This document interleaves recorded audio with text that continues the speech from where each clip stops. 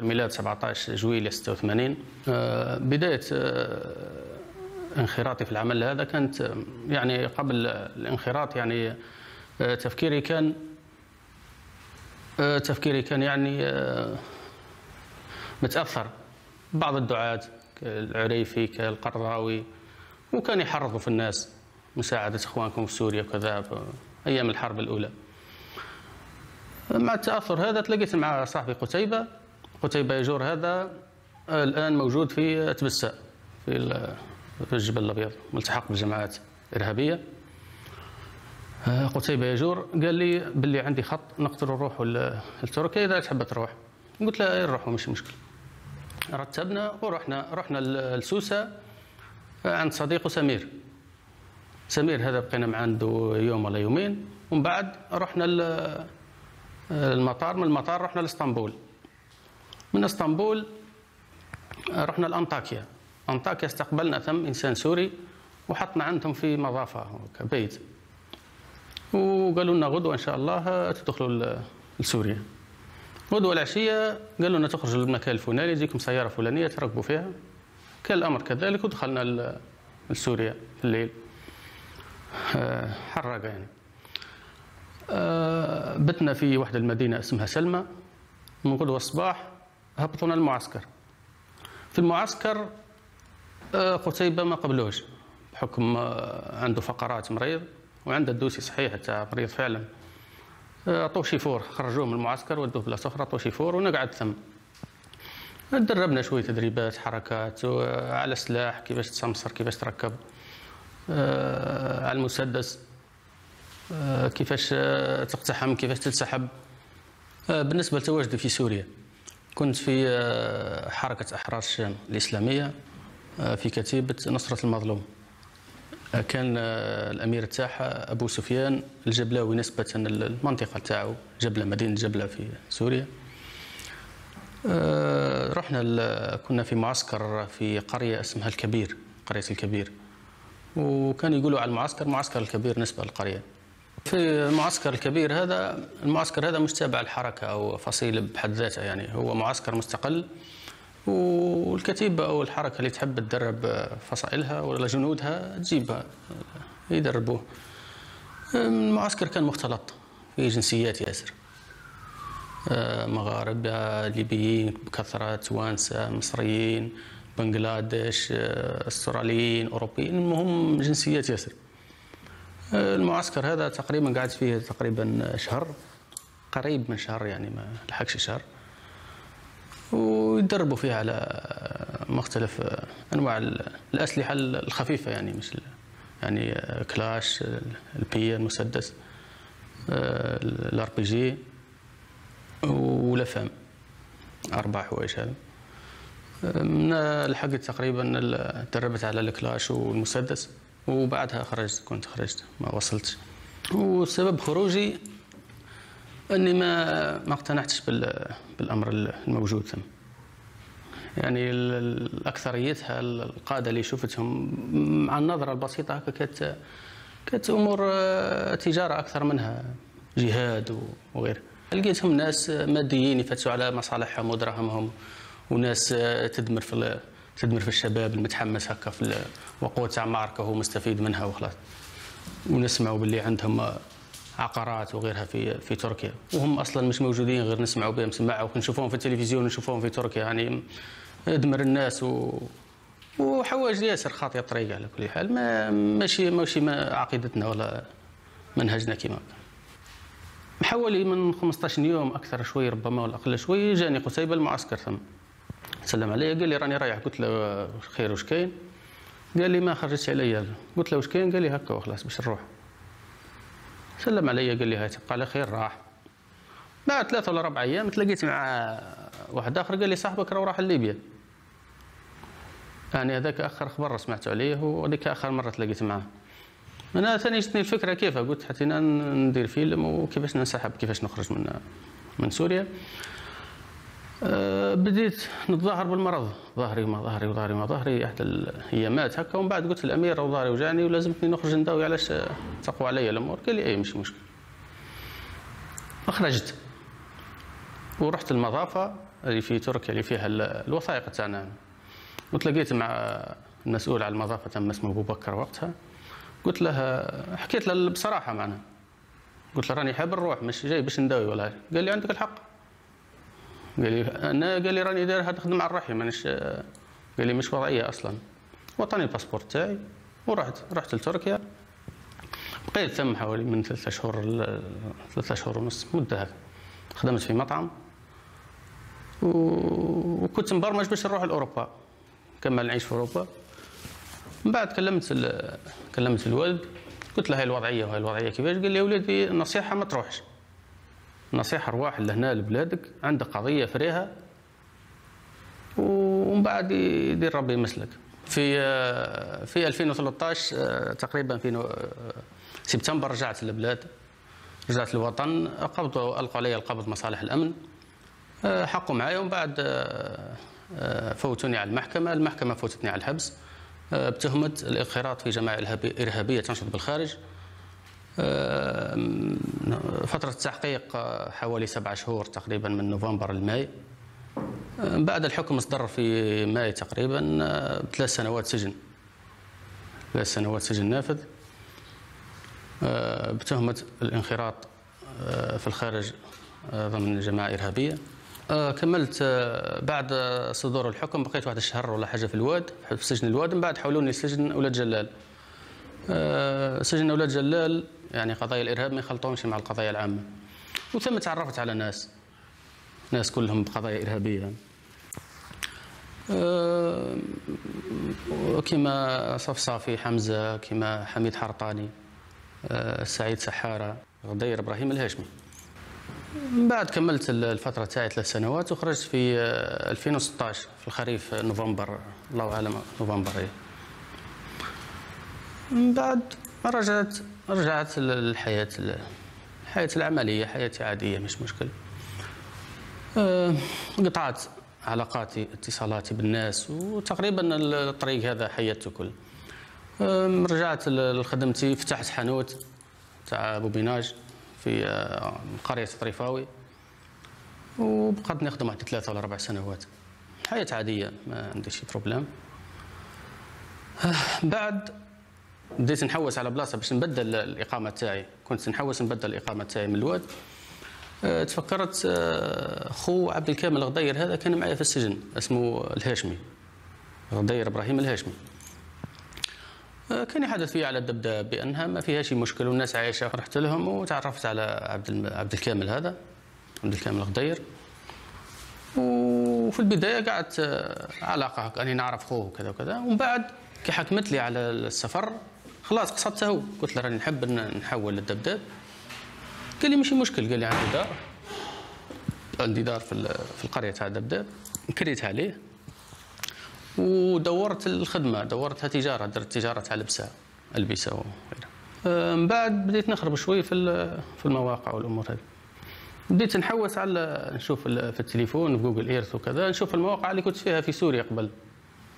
آه، حب اطلاع هكاك تكوليف كما يقولوا.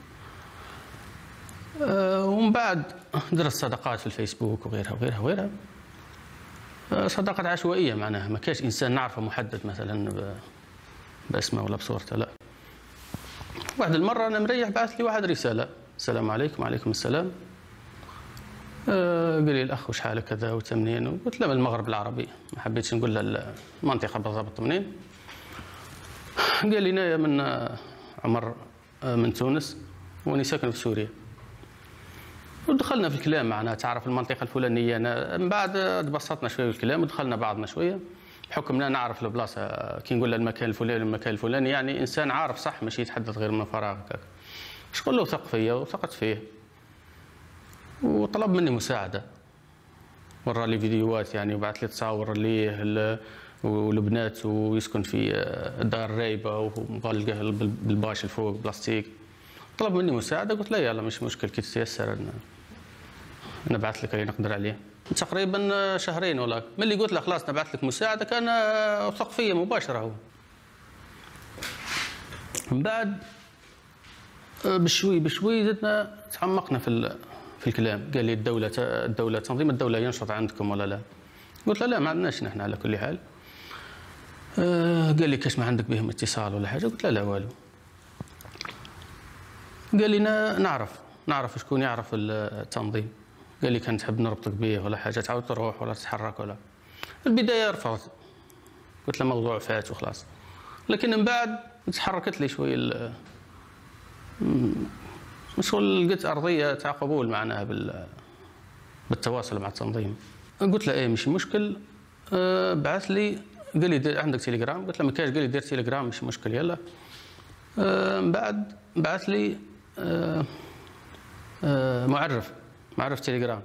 قال لي هذا راه خال زوجتي. خال زوجتي سوري. وهو عنده يعرف التنظيم. وأنا حكيت له عليك. ونا ثم ثم جتني الفكرة هكا كي قال لي التنظيم جتني فكرة باش نعاود نخدم معاهم وحاجه كيما. بعث لي المعرف هذاك وتواصلت مع مع حمزة هذا خال زوجة عمر. سألني بعض الأسئلة هكا شغل باش يتاكد بسيطة يعني مش أمور ياسر. وين كنتم من تعرفوا هكا؟ من بعد ربطني معاه بزاد قال لي راح يبعث لك معرف. ها هو الكود تاعه وكيفاش ترد عليه. بعث لي المعرف تاع المعتز بالله. هذا اللي عرفت من بعد راهو يخدم أمني. أمني تاع التنظيم. اي أه تواصلت معاه وكثر لي ذاك الأسئلة. معنا بالتدقيق إحنا واش رافك الفترة ذيك من تعرف بالأسامي. معنا حتى ديرونجاني ذات بكثرة الأسئلة. من بعد كأني قلت له كلمة مش عارف كيفاش فهمها وتقلقت منها ولا حاجة قال لي ما تقلقش لازمنا نديروا كيما هاي قلت له ماشي مشكل. من بعد بشوي بشوي طلب مني الامني تاع تنظيم الدولة الإسلامية المعتز بالله هذا طلب مني إثبات إثبات تاع التحاق ولا هذا. قلت له كيفاش؟ قال لي لازم فيديو بيعة. قلت له ماشي مشكل. رحت لغدير عبد الكامل. وغدير عبد الكامل هذا كيفاش تعرفت عليه؟ كنت مع خوه في السجن قبل. خوه الآن مازال في السجن على قضية تهريب وأمور كيما ومن بعد كي خرجت من السجن تواصلت معهم تعرفت عليهم وفهمنا بعضنا. آه، قلت لهم راهو طلبوا علينا بيعه قال لي مش مشكل. وزدنا كلمنا أخوه قبل ثاني. دخل معنا في الموضوع.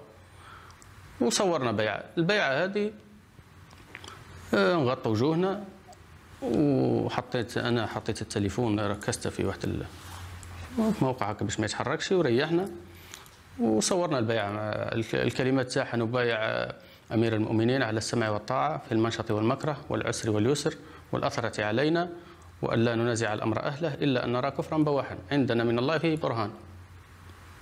فقط هذه تكفي. وعاود سكرت وبعثت الفيديو.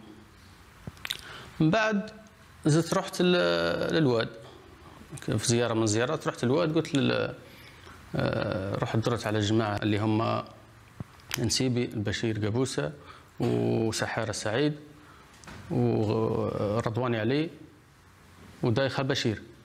قلت لهم باللي التنظيم طلب منا بيعة و... قالوا لي ماشي مشكل. تردوا لكن في الآخر راحوا. وتلاقينا في دار نسيبي. ونفس كما درنا في في البيعة الأخرى كيف كيف غطوا وجوههم وأنا اللي صورتهم على كل حال. ثلاثة صوروا واحد رفض قال لي ما خاطيني ما نصورش ما نديرش. آه، اللي هو سحار السعيد. بقى واقف على شق ما ما حبش يصور. ورضواني علي وقبوسه بشير ودايخة بشير هذا مصوروا صورتهم أنا وكملنا. وبعثتها المعتز بالله اللي هو الامني كما تحدثنا الامني تاع التنظيم تنظيم الدولة. وكملت أمر أمر البيع بعد فترة خلاص داروا فيا ثقة. قال لي راني باش نربطك الآن كملت المهمة تاعي باش نربطك مع جهات أخرى. جهات أخرى مش عارف كيفاه.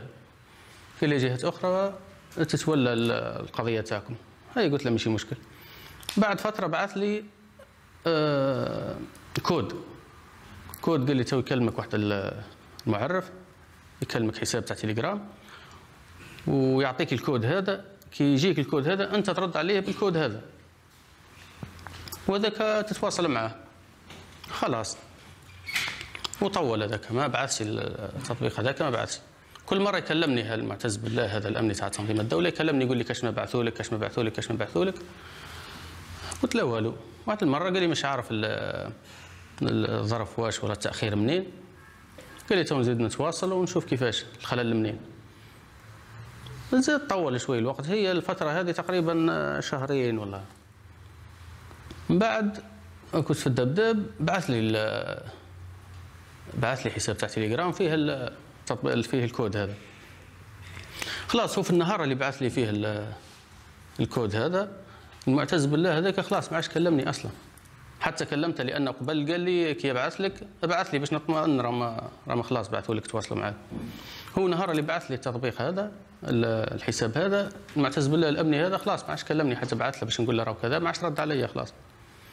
بعث لي التطبيق هذا اسمه عبد الفقير. إيه. عبد الفقير هذا قال لي السلام عليكم الكود قلت له عليكم السلام قال لي نحن جماعة غرب أفريقيا ولاية غرب أفريقيا. قال لي ومكلفونا بالملف تاعكم. كاش ما عندكم حاجة ولا حاجة خبرونا. قلت له مش مشكل. ومباشرة أنا دخلت دخلت مباشرة في في صلب الموضوع. قلت له نحن باللي رانا باللي مجموعة ناشئة جديدة وعندنا برنامج. وهذا بلا تواصل يعني بعثتها له رسالة مباشرة. كتبتها وبعثتها ديريكت. قلت له لو حابين مثلا نرتبطوا معاكم عن طريق نديروا طريق نعودوا نقدروا نروحوا ونجوا عليكم. الأمر الثاني قلت له حابين نديروا آه، منطقة منطقة آمنة. اقترحت أنا تكون في التصيلي في جانات الأمر الثالث قلت له نحيوا النشاطات تاع الجماعات اللي اللي مريحة هذه اللي مازالت موجودة ومريحة ما, ما دير في والو. و... والأمر الثالث نستهدفوا الحكومة بأي حاجة. واقترحت ال... ال... الاقتصاد تاع الحكومة البترول والأمور هذه المواقع البتروليه وغيرها ونستهدفوا شخصيات بارزة. قال لي أفكار طيبة خاطر ما تزيدش تهضر معايا في في التطبيق بالكلام هذا. وحذف الرسائل. والكلام هذا الرسالة هذه اللي بعثتها كانت حوالي بداية سبتمبر تاع العام هذا 2022 إذا متفكر آخر يوم في أوت أو أول يوم في سبتمبر هكا العام هذا 2022 بعدها فترة ما طولش ياسر قال لي خلاص صاي ما عادش تكلمني في الحساب هذا. نعودوا نتواصلوا في الحساب تاع سلمة اللي بعثه لي. الحساب كأنه موش نفس الشخص اللي يتحدث. أه ساعات واحد يتكلم بعربية فصحى صحيحة طول ساعات واحد يبعث بعربية مكسرة كأنه مش نفس الشخص اللي يستعمل يستعمله في الحسابات. من بعد ما كانش حاجة رسمية أخرى بيناتنا معناها في قضية العمل. قضية كان قضية هذا وسيم وسيم الجزيري هذا. هذا قضيته آه، واحد المرة رحت زيارة لبليدة الصديق كان معايا في السجن. حميد حرطاني من آه، بقاره وسقسيت على حمزة الصفصافي. قلت له واش راهو؟ قال لي ما عنديش تواصل معاه وما تلاقيتش معاه. بصح نعرف الحساب تاعه فيسبوك.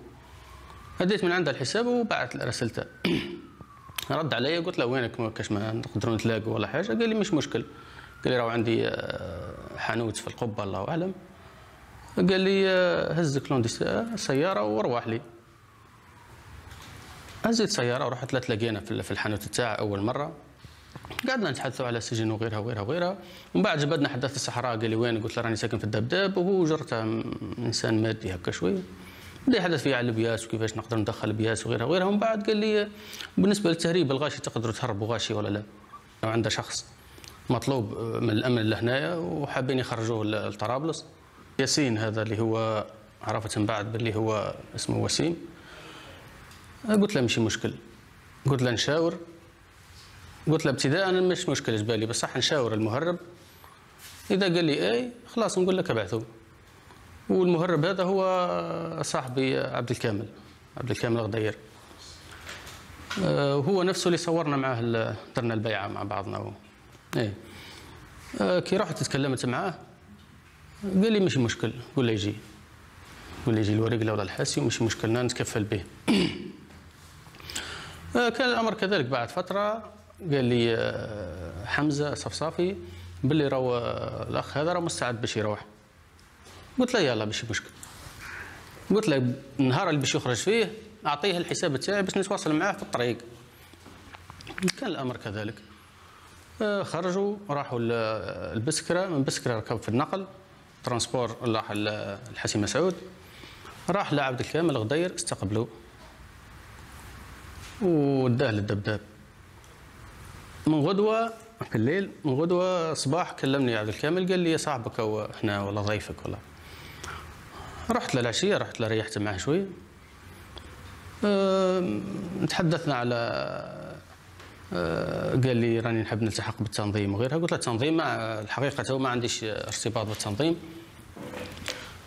أه وقلت له أصلا الهدف باش نخرجك لطرابلس يعني ما تلزمنيش بحاجة ما لزمتش بها نفسي يعني. قال لي يلا مش مشكل. والقضية تاعها ما حدثنيش صراحة على القضية تاعها وش عنده ولا وش عنده المهم مطارد امنيا. حكى لي باللي دخل السجن وما طولش. وكان يحب ينشط. بصح اللقاء الأول وبلا تفاصيل وكأنه مش عارف مصي باش ما نكلم. ما نتحدثوش ما نتعمقوش في الموضوع ولا مش عارف. لأن يعني قضيه العمل الإرهابي وغيرها ما تفصل ما فصلناش فيه يعني نقاط بسيطة جدا. يعني. وبعدها آه، هربوا لطرابلس. عبد الكامل هربه وصل طرابلس. وعلى أساس عنده عنده شكون يستقبله في طرابلس. وكي هبط عنده هذاك نفضه قال له ما تلزمنيش. بقى حاصل هكذا يوم ولا يومين راح كرا مع مع حراقة ومن بعد كأنه دبر بلاصة دبر بلاصة كراها وحده. ومن بعد بعث لي رسالة. قال لي أشرح للتنظيم قضيتي. بعث لي رسالة قال لي ابعثها لهم. تكلم في الرسالة وشرح وضعيته وكان من وكان يتحدث بصفته بصفته لازم يعاونوه لازم يوقفوا معاه لأنه مش مجرد مناصر ولا حاجة. ودير عملية طعن شرطي.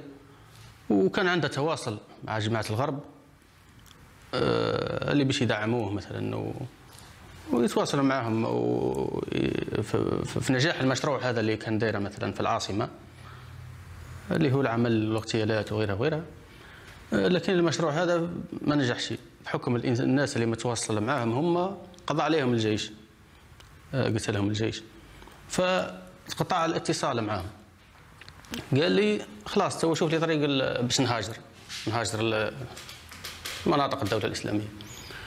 تنظيم الدولة الإسلامية. آه قلت له خلاص ماشي مشكل. قلت لجماعة التنظيم قلت لهم راهو عندنا إنسان في عايش في طرابلس. حاب يوصل لكم قالوا لي خلاص تعرف وثيقه قلت لهم نعرف وثيقه قالوا لي تونا بعثوا له نربطوه بمكتب الهجرة لولاية غرب أفريقيا. بعد فترة بعثوا له هو كود رسالة كان واحد الحساب بعث له رسالة معها كود. وبعثوا لنا كود ثاني. قالوا لي قول صاحبك هذا توجيه رسالة من حساب يرد عليها بالكود هذا. هذوكم هما جماعة مكتب الهجرة. يتواصل معاهم. خلاص كلمتنا يا ياسين قلت له تو يبعثوا لك رسالة. كانوا صح باعثين للوقت هذاك. قلت له خلاص رد عليهم رمهم. وتكلم معاهم. الكلام اللي قاله لي هو قال لي قالوا لي لازمك تلحق الجنوب النيجر زوج مدن. ديفا ومدينة أخرى مش نسيت اسمها. وهم زوج مدن جنوب النيجر. قال لي على المدن هذا. وأنا خبرت عبد الكامل قلت له اللي هو غدير قلت له التنظيم راه طلب من ياسين باش يوصل للمدن هذه. قال لي أنا أخطأني منها المشروع هذا قال لي فكني منه. بصراحة قد قدم. أنا الوقت هذاك تلكأت عليه ما حبيتش نرد عليه. قال لي الحل كيفاش؟ قلت له ما كاش بلاصة قريبة قعدت نأجل فيها الحدث. قلت له قول لهم كاش بلاصه قريبة وأنا ما تعملتش معاه الحساب الجديد هذاك. من بعد حاول هو كيفاش يديروا له حل بالذراع. لازمكم تديروا لي حل. في الوقت هذاك كتب رسالة هو. كتب رسالة يشرح فيها الوضعية تاعه. هو واش كان وكان يتعامل مع جماعة في مالي في الساحل ولاية الساحل. ودار عملية طعن والشرطي وكان يخدم وعنده شبكة المهم كل تتحدث على الوضعية تاعه السابقة تاعه معناه باش يجتهدوا معاه. بعث لنا الرسالة هذه قال لي أبعثها لهم. بحكم هو ما يتعاملش مباشرة مع صاحب حساب سلمة أو العبد الفقير هذا. يتعامل غير مع مكتب الهجرة هو. يعني باش تجي المسؤول كبير. رسالة. أنا ما بعثتهاش الرسالة ذيك بحكم ما ما حبيتش نبعثها. الوقت هذاك غبت. غبت على التواصل وغبت على الحسابات وكلها. سكرت التليفون وكلها صارت لي مشكلة أخرى. جاء الأمن يحوس علي على واحد القضية. غبت أصلا ذاته وغلقت التواصل كله. في الفترة تاع الغياب تاعي هو يلقى فيها ماشي ناشط ماشي ناشط ماشي ناشط. قام هو بعث لهم الرسالة مباشرة منا ليهم. هما كي حبوا يتأكدوا منا زادوا عاودوا بعثوا لنا الرسالة نفس الرسالة بعثوها لي الحساب تاعي وما فتحتش الوقت هذاك يعني كي فتحت نلقاها الرسالة مبعوثة من شهر والله. آه، شفت الرسالة نقاط بسيطة الآخر. يعني ما قريتهاش الرسالة أصلا. لكن لتحت كتب لي الشخص هذا صاحبك هذا اللي بعث الرسالة هذا اللي في طرابلس اللي حدثنا عليه هل هو ثقة أو لا؟ يعني باش نشوفوا له حل حتى ننقلوه لمنطقة أخرى ولا لولاية أخرى. قلت له ما صار نعرف معرفته معرفة شخصية وثقة ما فيش مشكل.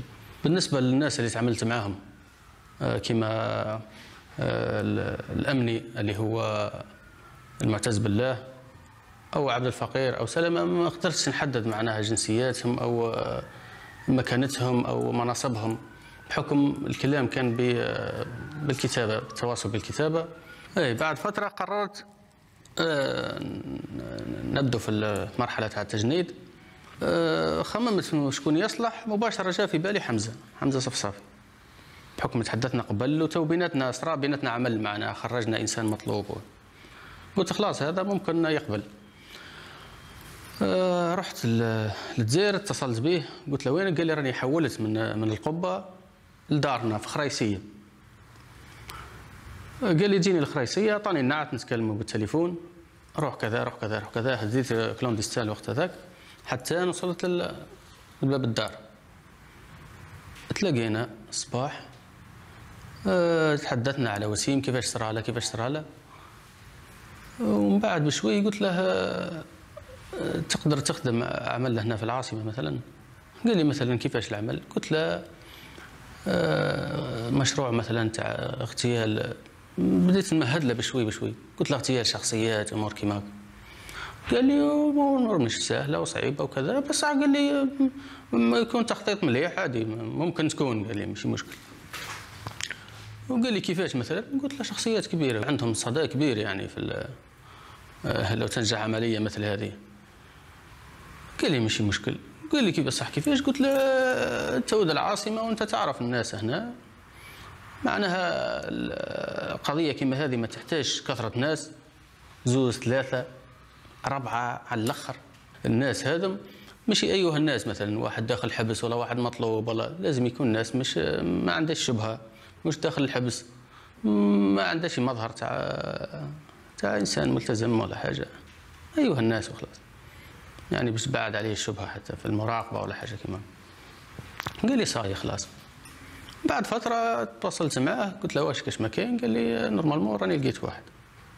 قال لي الاغتيالات كيفاش؟ قلت له بقنص آه، على حسب معناها الرصد قلت له باش تستعمل المتفجرات ولا حاجة صعيبة يعني. قلت له بصح الغالب تكون قضية قنص. وقال لي سلاح كيفاش؟ قلت له كي نلحقوا المرحلة هذه تاع سلاح يدير لها ربي مثلك سواء نمشوا في هذه الساعة المتوفر الساعة وما ناش مزربين ماشي ماشي مشروع تاع اليوم ولا غدوة ولا اي قال لي صح ماشي مشكلة. وبعدها بفترة صارت لي قضية أخرى مشكلة أخرى. في الفترة ذيك بعد كان نعرف واحد من قمار اسمه آه، يوسف الأسود. هذا أيها الناس ما عندهاش مشكلة ولا وكان متواصل مع واحد في مستغانم. نعرف الحساب تاعو رجل الثلج. هذا كان عندي في الصداقات تاعي رجل الثلج هذا بصح ما نعرفوش. واحد المرة كنت مريح مع يوسف يوسف الأسود هذا وكنت عندي التليفون كنت نشوف الفيسبوك الصفحات وغيرها. جاء واحد المنشور بوطو بوطو طايح وصاحب المنشور داير بكاميرتي ولا بتصويري هكا. رجل يوسف قلت له شوف الريح واش داير. البوطو الكبير تاع لين الكبيره كي شاف الحساب قال لي قال لي كيفاش تعرف هذا؟ قلت له ما نعرفهاش لكن هو الصداقات قال لي نعرف هذا من مستغانم وصاحبي قال لي عنده فترة أصلا في الصداقات تاعي ونعرف صداقة قوية في الصداقه فيسبوكية معنا بصح قوية يعني نتكلموا ياسر. لا كلم يوسف كلم هذا صاحب رجل حساب رجل الثلج قال له فلان اللي معك في الصداقات راني نعرفه نعرفه شخصيا معناها. وقعدنا أصدقاء. معنا عندنا أصدقاء كلنا. عدت نتكلم معاه ساعة ساعة نبعث له واش راك لاباس بخير آه هذا رجل الثلج صاحب حساب رجل الثلج. من بعد حب يلتحق بالجماعات بالتنظيم. وقبضوا عليه قبض عليه الأمن قدام لا يروح. آه، من خلال المراسلات تاعه وصلوا ليوسف الأسود. كان معه في على اتصال معه. ويوسف الأسود زاد قال لهم باللي آه، لقوا مراسله ولا مش عارف كاش ما تحدثت عليه قال لهم شكون هذا؟ وصلوا لنا ثاني. جاني الأمن للحانوت باش ياخذوني يستجوبوني. أنا هربت. قال لي سكر الحانوت وروح سكرت الحانوت وخرجت من من تالي من السطح ومن ثم تقريبا تقطعت الاتصالات والأمور هذه كلها. قعدت متخبي في دار في دار عبد عبد الكامل غدير. و تقريبا فترة عشرين يوم الله. من بعد قررت نهبط للواد. من بعد شفتها الحياة ضيقت ياسر قلت نروح نفري قضيتي ونروح للمحكمة نقطعها نقطع الدوسي هذا كله. رحت لدار نسيبي بحكم وطولت في دار نسيبي تقريبا شهر ونص ولا حاجة كيما. بحكم الزوجة كانت مريضة وبقيت معاها شوية. ومن بعد قبضوا علي صالح الأمن في صباح صباحة الأربعاء حوالي الرابعة تاع الصباح. لقوني في الدار قبضوا علي و ودوا تليفون وهني والله بالنسبة بالنسبة للعمل العمل خاطئ 100% خاطئ 100% إنما حماسة وتغرير أمور بعيدة على على الشرع الحقيقة. وإنما اندفاع فيه جهل فيه تحريض من من الدعاة تدخل المناطق مشبوهة يتصبغ عقلك بالشبهة هذيك مواقع تاع فيسبوك ولا غيرها مجهولة. طريق غلط طريق غلط صح. وندم عصر لي قلبي الحقيقة خاصة بعد الصدمة هذه توقفت ورجعت لعقلي لقيت روحي خرجت على الطريق خرجه ماشي عادية أصلا. والله نادم ندم عظيم يا أخي. ونطلب من السلطات تسامحنا تخفف علينا. ونطلب من الرئيس وقائد الأركان يسامحنا على الشيء اللي كنا نخطط له. ونوجه كلمة للشباب وغير ما تبعوش الأمور. هاني تبعت وأخرتها طريق محدود. إياكم إياكم خاصه من الحسابات المجهولة. حسابات المجهوله راك ما تعرفش شكون وراها. باش تتبع تخلي الحقيقة وتخلي الواقع تخلي بلادك مساجدك من من ضرب من ضربك على يدك قال لك ما تصليش ولا ما تصومش ولا ما, ما ديرش لحية ولا ما كانش. راك عايش مسلم لاباس عليك. واحد ما ضربك على يدك. تروح انت تتبع حوايج خاطئة الطريق ناس أجانب ما تعرفهمش شكون. نداء من القلب للشباب. ردوا بالكم ردوا بالكم ردوا بالكم. طريق حاد وأخرتها راهي أخرتها راك للسجن ولا أخرتها باش تموت تروح حياتك وتروح عائلتك ويروحوا ناسك. وهاني مثال قدامكم والأمثلة قبلي. ما كلمة هذه. من قلب تاع إنسان غلط وتوقظ ما توصلوش الناس يلي راكم في الطريق هذه ردوا بالكم ردوا بالكم احبسوا حتى راكم متورط احبس يزيك. ما لا يا شباب خذوا رأي و... واللي مغتر بالطريق هذا يحبس ويرجع لحياته يستهلا في روحه يستهلا في والديه ويعيش حياته على الحمد لله.